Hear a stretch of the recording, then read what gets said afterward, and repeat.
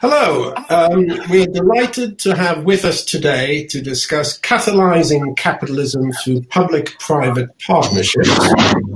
Uh, now, I hope I'm pronouncing her name correctly. Teresa Ribeiro.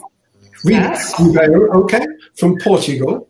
Wonderful. Um, Viljar Lubi from Estonia. Hello, everyone. Alan Lau from Singapore and sometimes Indonesia. Um, Peter Lazou is not with us at this moment. And last but certainly not least, Nico Anten from the Netherlands. Hi.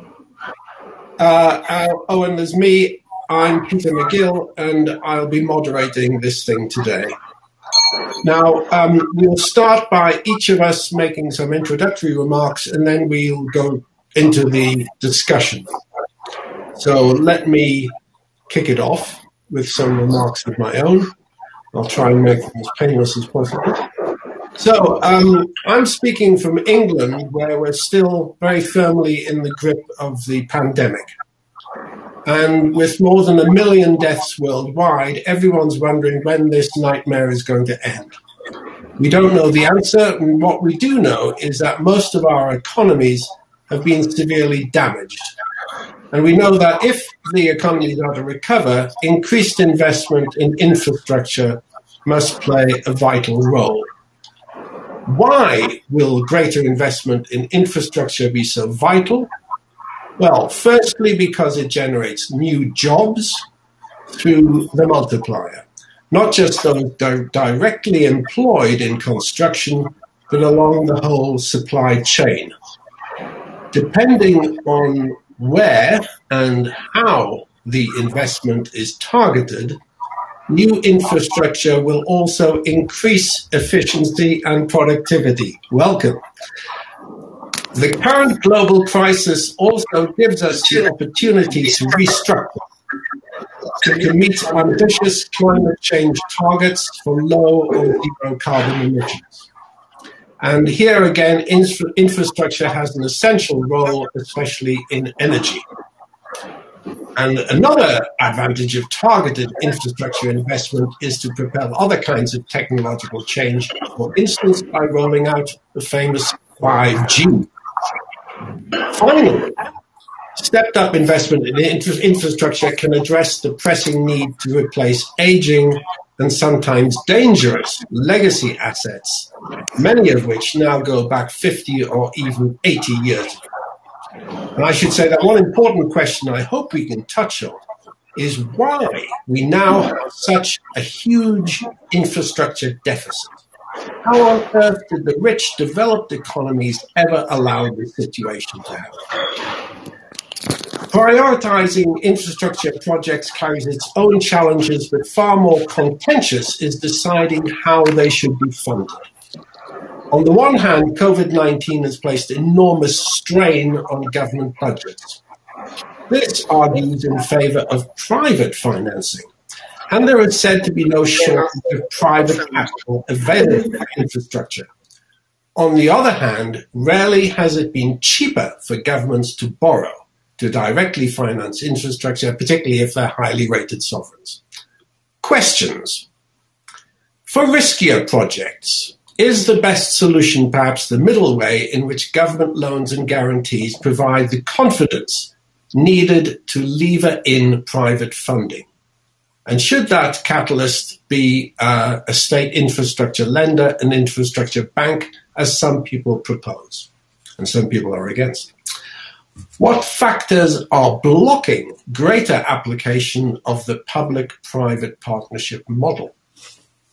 What infrastructure sectors are most suited to PPP, and for which, if any, is PPP not appropriate? PPPs proved extremely successful in funding renewable energy, particularly wind farms. Can it also be made to work for the largest and riskiest projects such as high speed rail or even nuclear energy? Finally, yes, finally, if we want to catch up with China in 5G without using Huawei, is public subsidy needed or can we leave it all to the private sector? So that's my spiel, and um, I'm now uh, very happy to invite the first of our speakers to, to, to make some introductory comments. Uh, Teresa Ribeiro, would you like to start? Okay, thank you very much. Uh, one interesting thing, Peter, uh, I say hello to everyone, but I say goodbye because you said everything I wanted to say. So, uh, you know, it's a little well, that was a mistake. I apologize. Uh, but in any case, first of all, thank you for having me today with you. Um, it's a very interesting topic and it's a very, um, quite a, a, hot topic. Uh, we are now in the middle of a pandemic. Um, it, it, and the pandemic was very clear uh, on the role of the of the state, uh, and it clearly reinforced the role of the state. Um, we need a state that is much more robust, um, that is able to provide the right answers um, to this terrible pandemic. And I'm not just uh, referring to the sanitary effects of the pandemic, but uh, the second phase of this pandemic, which will be, of course, the recovery. And then again, uh, and we must not forget that, at least in the case of Portugal, uh, but quite a number of countries will be in a very stressful situation regarding uh, the fiscal situation, regarding uh, the fiscal.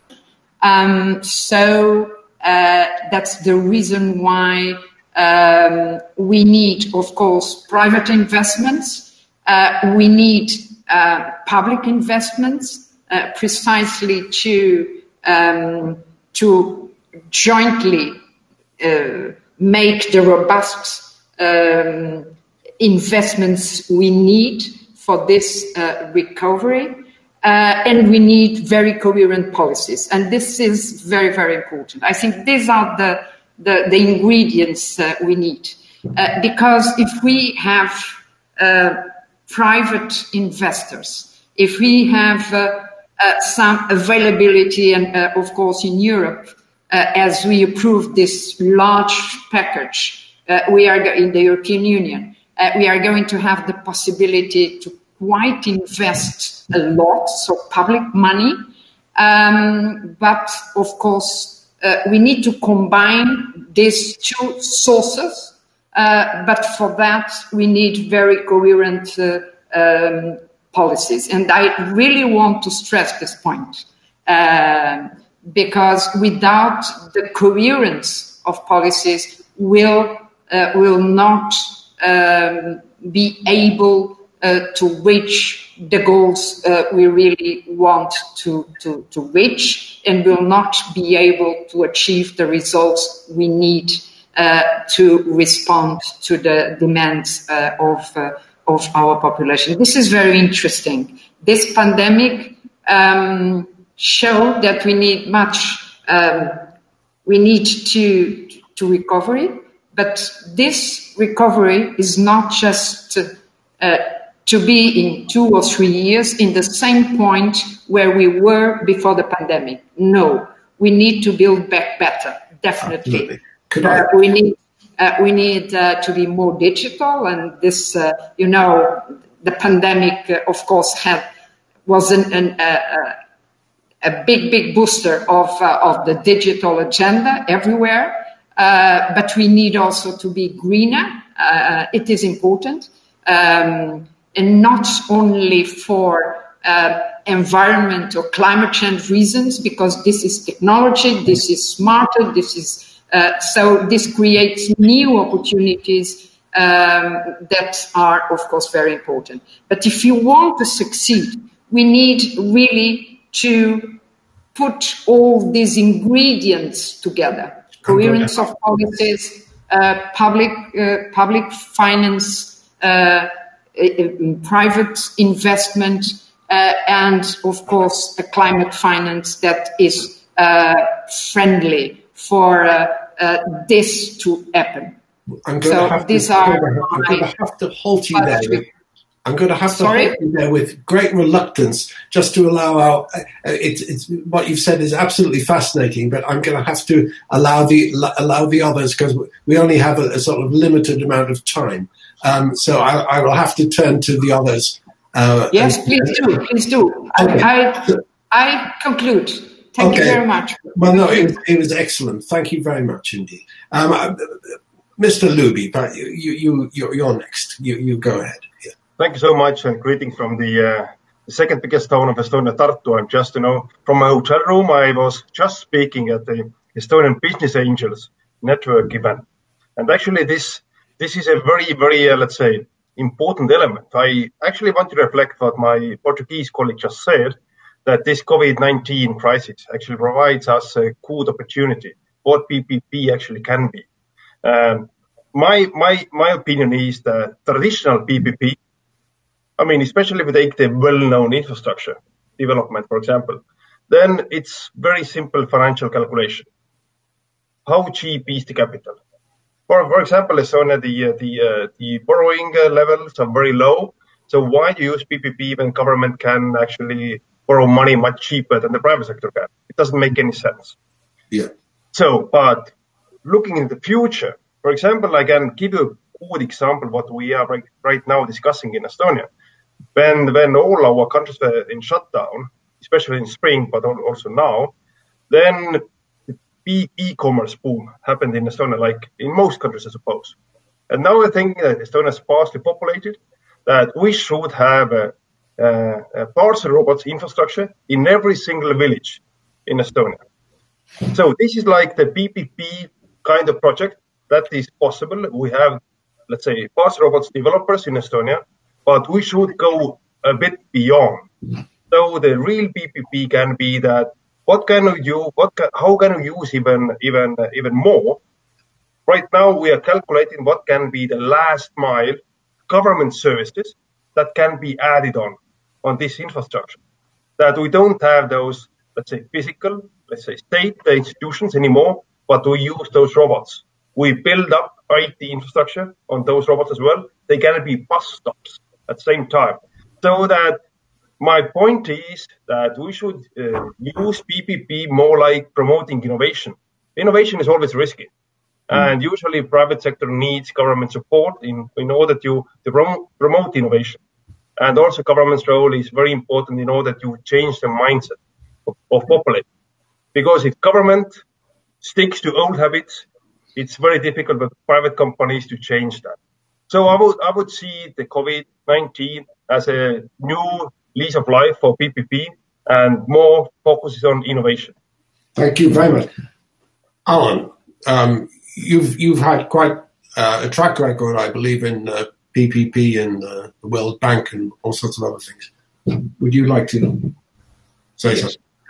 Yes. Um, my company, we are an energy infrastructure project. You know this. You know the you know developer we balance our business with social impact projects such as low income housing and drinkable water. My view is that the present uh, practice of public private partnership in terms of infrastructure project development stresses and emphasizes value for money as the main criteria for the green light decision what I would like to see is more as to a community based how can how can PPP projects benefit the community? Because in spite of the billions of dollars that have been invested in PPP projects, yet you have a widening income gap, you know, an increase of the poverty. So something is amiss. Something serious is, is amiss. And this pandemic has actually you know, glaringly showed that this, you know, lack of inclusive prosperity and people are left behind, and and and this state just simply can cannot carry on. So that basically is where my focus is, is to look at how PPP can benefit the community, and it, the benefits can be filtered down to the grassroots level, and and that and that can be be done. I will stop here, but I will give solutions, you know, this later on on how that can be implemented. I do have my own idea based on my uh, experience on the ground. Yeah. And, um, so let's discuss. Yes. Wait, wait, wait, these introductions are taking up quite a lot of time. Um, um, Nico, you're, you're, you're next. Yes. Okay. Thank you for inviting me here. No. Um, yeah, for me also, uh, Corona has a big impact in what is happening in our uh, society. And if we look at the use of infrastructure uh, after the lockdown of the country, the use of physical infrastructure dropped to below 50%. Now, uh, last week, we were back at 95% of the use of our infrastructure, and there were no traffic jams. So the interesting thing is, if we look at PPP in just one dimension, okay, we should we have to build things, we have to develop things, and how can we finance it? We miss quite a point because if we add more levels like the uh, behavior of people, how how can we influence them? It turns out that uh, in the case of the Netherlands, the available physical uh, infrastructure is more than enough to deal with all the uh, demand for uh, traffic without any uh, further investment needed. If you look in our cities, uh, the increase uh, in demand for goods via e-commerce was high because a lot of people turned to e-commerce for their shopping. And there you see also that you need this public-private dialogue, these public-private partnerships, because you don't want to have a negative impact on local communities. You want them to benefit. So I think if we look in public-private partnerships and we add more uh, dimensions, which makes it more challenging, but also I think more rewarding because then we can make sure that certain people can join uh, our society instead of that we left them uh, behind. So in the end, I think Corona is a blessing in disguise. Thank you. But it is difficult. Thank you. And uh, Peter Ledoux, last, last. Peter, can you hear us? Yes, I'm just trying to unmute. Yes. Here. I've had Okay. technical difficulties and apologies for the uh, for the kitchen background. It's been a bit of a nightmare today for some reason. Okay. Um, I'll, I'll give you a, um, I guess, um, um, from, from my perspective is is a little bit different. Um, I'll give it from an entrepreneurial perspective uh, as a serial entrepreneur myself. Um, and that's around around the topic that we're talking about. And for mine, it's, it's, it's for me, PPP can be a great tool to promote and endorse the need for entrepreneurs to be at the core by by bringing ideas to marketplace for sustainable development. And and so um, I look at it that if if we can obtain technology and scientific grants and government driven performance contracts and, and economic development and support, then entrepreneurs and their startups can certainly flourish to make a difference. And and I guess uh, an example is what everyone's talking about, COVID, which is the new norm we live in today. Um, and with technological advancement, sustainable, sustain, sustainable and resilient infrastructure, we can surely pave the way for an inclusive post-COVID um, economic recovery. But what it does mean is that obviously we need governments um, um, to ensure uh, investments to go to innovative infrastructures projects that can be sustainable, technology res- advanced, and resist and resilient. So that, that's my really short, brief uh, um, intro. Um, so uh, we can continue the conversation. I know you're running out of time, so I'm keeping mine short and sweet. Perhaps I could start with one question, and I, I, I know um, the Secretary of State has to run out, so perhaps she can she can take this before she dashes out. Um, do you think um, governments are up to speed with the the challenge and the need uh, to um, invest in, in infrastructure if we're going to have a pathway out of this crisis? I, I, I have the feeling in in my own country that we're not at all ready.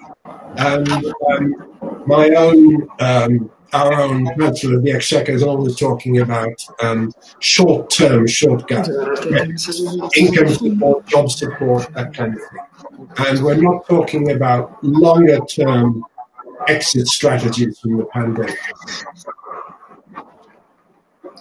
Did you did you hear me, Teresa? Ter- Did anyone hear me? You all heard me. Yes. Does anyone want to take that up? would you like to take it up, Mr. Mr. Lubi? Would you like to? The question is about the, the response of governments. Do you, As I represent the government, maybe I can at least uh, comment a bit. yes. Um, yes. Oh, right now, it seems to me that yes, governments are willing to take this uh, challenge. The only question is, what is the focus of this challenge? Uh, governments want to invest. They understand that uh, uh, learning from the previous economic crisis, government investments are very necessary. But I think that all the governments are ready to invest. But what the fellow panelists also said, it's very important to invest in uh, future technologies, not the old ones. Otherwise, just waste of money. So I think it's most about making the right choices, not about making choices or doing things. Because I think that every government is right now budgeting. We just did our budget. We are investing quite heavily in our infrastructure, and we try to do it as smartly as possible. So yes, I think we're up to the challenge. Are any of you experiencing a lot of background noise? Is it just me? Yes, yes, I can, I can hear it. Uh, I can hear the background noise. I'm not sure who it is. Maybe if maybe if everyone uh, a suggestion is that everyone mutes when they're not talking, that might help. Okay.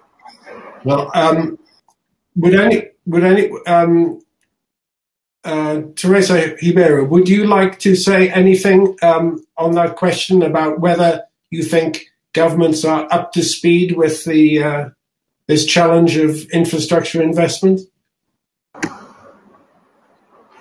Okay, thank you very much. Uh, I'm sorry, Peter, because for a while I couldn't uh, I couldn't uh, hear you. That's the Ah. reason why you know I was uh, I was silent. Um, No, the, que- the question the question was that given the the urgency um, surrounding um, the the economic conditions and um, infrastructure projects, as you know, uh, that, that, that they take a long time to plan and to implement many of them. Whether you think governments are um, treating this uh, with the urgency needed, uh, whe- whether you think um, plans are sufficiently advanced, or are we being too slow? Uh, this is this is quite a big question, you know, Yeah. and uh, I can only talk um, from uh, what is happening in Portugal, uh, and we are quite aware that urgency is uh, is the word. Uh, otherwise, we are simply contributing for the private sector to to uh, to die or to uh, to weaken so much that will be um, very very difficult to recover. So you know the the urgency now is first of all is to keep the productive structure there, the economic fabric there, um, ready to produce, uh, ready uh, to uh, to be um, active. Okay, so this is the first thing to do. The second one is create the right projects and the right tools for financing these projects. And in Portugal, we are precisely in this phase of the process. And Um, how to fund it. Yeah. uh, yes, absolutely, absolutely. How to fund it? What is the best way? What are the best projects? And in our case, you know, we uh, very, very quickly we um, we we have plan, uh, a strategic one, um, and uh, we already, based on this plan, um, we established uh, quite a set of, of projects, uh, and we are now presenting it to the European Union in order to have uh, its approval um, and in order to finance it with the um, European Union means. But you know, this is a very, very special situation of uh, uh, the countries, the member states of the European Union, who are very, very lucky uh, regarding the, the available uh, the available funds. Uh, so this is a very special situation. But at the same time, you know, I'm in charge charge of development cooperation, which means that uh, I, I I have to to tackle uh, the difficulties that the developing countries are uh, facing um, and how uh, how they will recover. How can we uh, how can we work with them uh, in order to build uh, resilient uh, uh, and sustainable projects? how can we how can we create the the right conditions, the the right climate finance that is friendly for investment? how can they um, you know, uh, adopt the right policy. So, and this is much more trickier. And uh, at the same time, they are in a, in a, in a debt stress situation that is a very serious one, as we all know. If, it looks to me as if Alan Lau is itching to to join in at this juncture. Is that right? Sorry, uh, Alan, can can you hear me? You're, you're mute. Your, your microphone is switched off, Alan. Yes, right. I'm back on. I'm back on again. I, I look like you wanted to say something. Oh yes, I think this is a very challenging time because in terms of the fiscal policy, is a very crucial as to how the government, given the the you know increase in debt, how do you actually look at funding some of these vital infrastructure projects and also to ensure that there is inclusive pro- prosperity because we cannot go by the same old model where the whole emphasis is only on value for money. You must look into how the value is for the community and for the people. So then then this actually begets a new approach to even implementation of public private partnership. So like i mentioned the pandemic has actually showed the glaring dichotomy in terms of implementation and in terms of its that effectiveness. So, how, how, so these you're talking about a more ground up approach to a ground up, but also but also governed by sound fiscal policy. Because I think there must be the political will to at least allocate even a small stake of the revenue for the infrastructure projects for the for the community. Know, a lot of a lot of the developing countries don't have any money. Um, to, put it, to, put it, very bluntly. So um, I was just thinking that if we if we go back uh, to the aftermath of the great uh, glo- the global financial crisis, uh, you'll all remember that it was um, China which sort of rode to the rescue then by plugging the demand gap through massive infrastructure spending and that sucked in imports from, from the rest of the world. And I'm wondering, uh, China is, of course, a very hot button topic at the moment.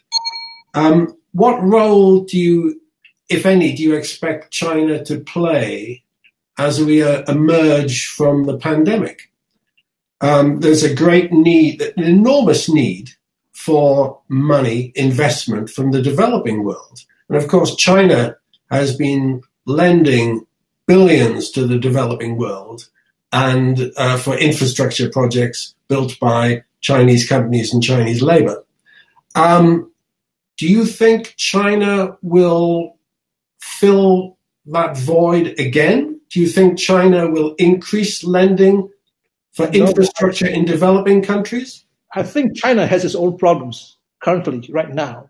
Even the model that they have done through the BRI, I don't think is really effective or is or does that even benefit in terms of the um, in terms of, of the host country uh, in, in in terms of investment yes but then they use chinese companies they use their own state-owned companies and they even use uh, their own chinese laborers right. for the menial job that, that does not it does not help to transfer skills it does not help to create the bottom up approach in terms of job creation for the locals so but whilst i say that the present model that is being practiced by the world bank where you place only emphasis on the value for money is not even serving that either because the world bank is actually depending on the private investors right now through the i through the ifc and the community projects, the World Bank MIGA, they don't have the mechanism to actually underwrite that. They can only underwrite sovereign or you know all the ministerial risk, but not the community or the municipal risk. So henceforth, this is why it's not even with with the in spite of the money actually that have poured in for PPP project is not actually filtering down. The, the, the communities are not getting the benefits. The local SMEs are not getting the benefits. So I think we have to have a whole rethink as to how to have a more people oriented and how to actually implement that with and to be effective. And I see that one that one way to do that is to have a framework of a national foundation or a or a village fund or a community fund whereby a small stake of the infrastructure projects can go into that, then you have a sustainable long-term revenue stream to be able to fund the community project. And this has proven to work in you know Canada, in British Columbia, not not in the PPP, but for the gaming, whereby an, a small allocation is being given to the First Nations, the tribes, okay. and that has actually worked very well because there are multiplier effects I that go to the community. I think it's a very very interesting. Uh, uh um, Peter, do you want to quickly um, follow up on that? Because yeah, I, I, I, I want to. Yeah, yeah, I, I, want to jump in because one of the things that my foundation is doing out of the UK is, is actually working from the bottom up. And this is one of the things that we've looked at in the fact that how can we get the global, glo- the global communities around the world to become stakeholders? So one of the things that we're doing to try and support this whole mechanism of getting everyone involved is what we call the $1 donation which means that if we can get one dollar donations from everybody in the world, no matter who you are, how rich you are, how poor you are, in the sense of you can afford one dollar, then that's a contribution to help make the make the build the communities and start building ventures that become resilient and sustainable. Um, because at the moment we're just relying on governments, we're just relying on the wealthy and the private sector to try and pump money in to make a problem. But we've got to look at this with a completely different lens. Okay, we're trying to fix an existing problem. Sometimes it's about going about it in a completely different way, um, and that, that's that's you know my, my my my view on this stuff. We've got um, to look at it differently. In terms of the green agenda, um, there's a lot of talk, uh, as you know, about using uh, the, this crisis as as an opportunity to restructure our economies to be low or zero carbon in practice and in terms of PPP opportunities, what does that mean? Are we talking about, what are we talking about mainly? Are we talking about wind farms? Are we talking about um, um, inv- investments in car batteries? Are we talking about energy storage? Are we talking? Give us give us some examples of of where infrastructure investment can and should be targeted to achieve these global and EU goals. How, how should it be done? One of you. I mean, if I think of, if I think of, I, I, the example of the UK, and, and, there's been massive investment in wind farm because it's been attractive to the private sector to, to invest in it, and it worked very well. Um, so uh, that's. What about other countries? Well, maybe Peter to give a start. Please, uh, if that's fine for you. Um, you see that uh, after the initial response of governments to the to the crisis, they, they try to keep the economy working. Mm. But we should not make the mistake that we take all the plans we were planning to uh, execute and just continue, but to rethink really about what is the need what we have. And what we see in the logistics industry worldwide is that the uh, concept of the just in time in worldwide supply chains is not a very robust uh, approach. And you see the companies all coming to the conclusion if I want to sustain I have to become sustainable. And there you see a lot of collaboration. And the collaboration is not about only about wind farms or, or uh, hydrogen, but also can we collaborate in new ways. Even we see examples of competitors collaborating in a way to make their business more sustainable. And I think this should be a dialogue need between the industry and the uh, government, so a public-private uh, dialogue, which is also about my foundation. But we also should include the community in this. So it should not be just technical discussion.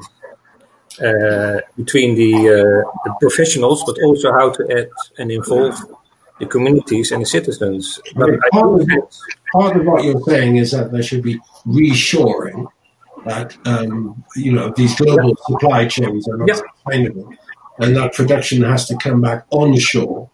But in addition to that, you're saying that it should directly benefit uh, community. Yeah, but because there you can you have also then the support of the community to uh, to the change uh, you need.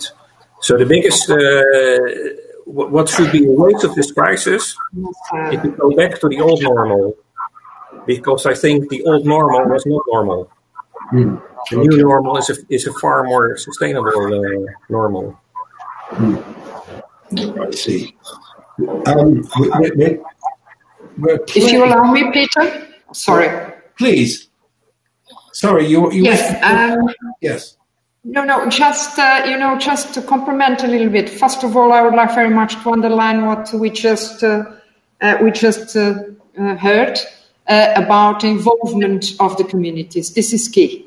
And this is very interesting just to tell you something. We, this strategic plan we have now in Portugal for the recovery um, you know, it was it was under public consultation, and you know there were thousands of um, of, uh, of, of people um, wanting to participate. This is very interesting. It's very good, and it really uh, shows that people want to participate and to have a say uh, in their future.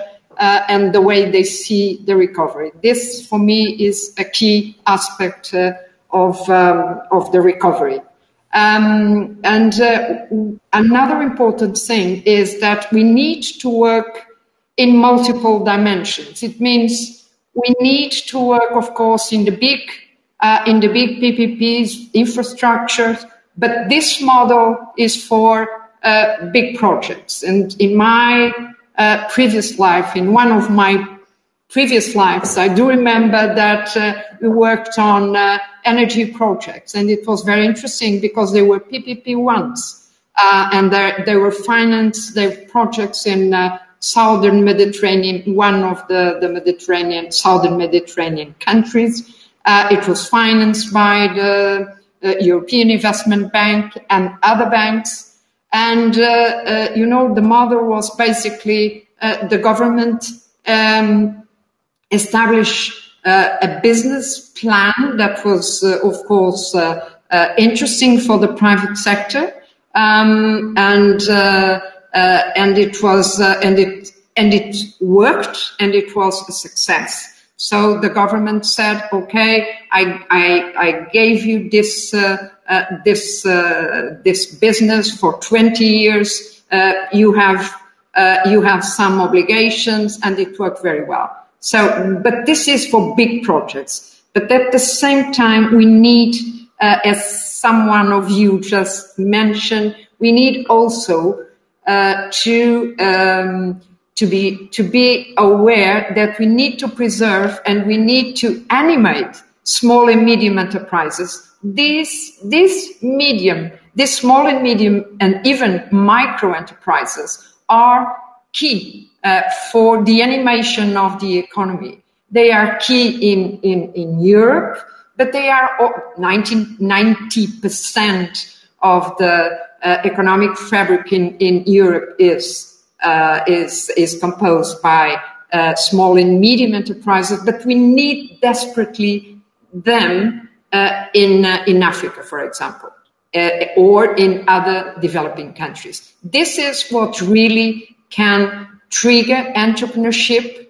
Uh, it can trigger, it can create jobs, and it can really also create um, an in- inclusive growth. So just, I think we need to work in different I'm dimensions. I'm just wondering. If, I'm just wondering if the institutional framework we have now for this sort of thing is adequate, is is up to the job. So, uh, so for, well, well, some, some institution has to, governments can set broad priorities, In, and, and, and then those priori- priorities have to be narrowed down and specified. There's a, there's a mountain of things which which, which are involved in, in, in infrastructure investment. The question is, who does it? Who, who is best suited to doing these tasks? And that is where I think you, is a very interesting topic. You mentioned the European Investment Bank. Very few British people have ever heard of the European Investment Bank. But um, we are probably going to lose that funding because we're leaving the European Union. And the question has arisen in, in the UK whether we should have um, an infrastructure bank. And we had something called, uh, I think it was called the Green Investment Bank, which was very successful. And so it's successful. It was sold off to Macquarie, the, the Australian bank, and they made that um, British uh, thing into a global infrastructure business. Is it is a is a dedicated is a dedicated state-backed infrastructure bank necessary, where where where it concentrates the the the expertise for infrastructure in that institution and then works with the private sector? Or do you just say, no, we believe in the free market, we believe in free enterprise, we're not going to have anything more to do, you know, let the banks do it their way. I think the, this is the sort of a, a, question which which has which has to be addressed. That's my personal opinion. Mr. Lubi, would you like to? Is it? Oh. Sorry, yes, I, get, I, get, uh, I mean, it's it's a very interesting uh, question, and you know, there is probably not a direct answer, but uh, it it still brings me back to my old argument that if you take just you know necessary big infrastructure projects, it's down to the price of capital, and every country has a different price stack. That you know what kind of uh, interest rates you you you get the capital uh, access to the capital. But that's why, you know, the more important thing is that what kind of projects do you finance? That, that choice is the toughest, that you make the right choices because usually they are very costly if you go wrong. Mm. And therefore, you know, I, I come to this that, you know, maybe PPP shouldn't be like this traditional way saying it's about private sector financing it first and then governments buying it back. But meaning private and public sector invest together but who decides on the who decides on the project? You said deciding on the project. But if, if, if, the, if, the private, if the private sector has uh, its own skin in the in the game as well, hmm. so I suppose they help the governments to make right choices that they see the value also in the long term. Otherwise, government decide we will need to this road or this uh, energy park, and hmm. private sector just competes who gets its cheapest. Hmm. And but they don't give any any reasoning is it actually necessary in the long term or not? So if we get them, you know, more involved as well, and they take the risk, and they that's why that's why I was arguing in the beginning as well that anything regarding innovation, the big project looking into the future, I think PPP has a great potential. Yes, but I'm still I'm sorry I'm still thinking if uh, uh, are we talking about bureaucrats in a government ministry having meetings with with bankers and people from construction firms? Or are we talking about a separate institution backed by the state, which is a dedicated infrastructure lender? To my mind, that makes more sense than having somebody from the Ministry of Transport or the Ministry of Energy having a meeting with such and such a bank. But that's just my personal opinion. Peter, just to let you know, I'm looking at my thing and it's telling me we've got 19 seconds left. I think we have. I think, I think, well, listen, I, I think in that case, um, I will stop talking and I will just thank all of you very, very much. And, um, uh, and it's all, all the preparations, all the troubles we had beforehand have been worth it. And we've had a most stimulating discussion. I hope other people have been watching uh, or will watch um, on YouTube or whatever it is. Um, and thank you all again for sparing. It's been a pleasure. Time. Thank you. It's been a pleasure. I've listened to everyone. Thank you. Thank you. Thank you, Peter. Thank you very much. Thank you. Hope to see you all next uh, next year here in, in Portugal in studio. Oh, that would be, be much more pleasant that, that than would, that, be... that, would, that would be much nicer. It would be lovely. Well, I, had, Yes. I, I, had, I had my I did have my hotel and my flights booked. But uh, Oh, Yes. but, I- but I- now I've got credit notes. Yeah, I have some Yes. TNT vouchers So- well. Yeah. so I'm sure that we'll meet, we'll meet here next year. Bye bye. Okay, bye-bye. Thank you. Bye-bye. See you around. Thank you. Thank you. Bye-bye. Bye.